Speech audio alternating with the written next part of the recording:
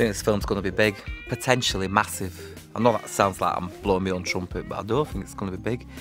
And I wouldn't ask you to do this if I didn't think it was integral, you know, to the character arcs, both of ours.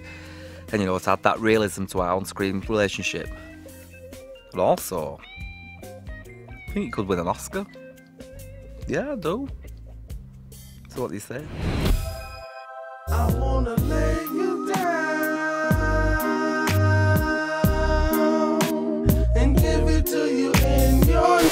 All right.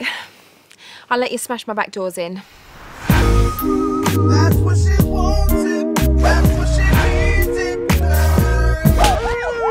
Ride it like Seabiscuit!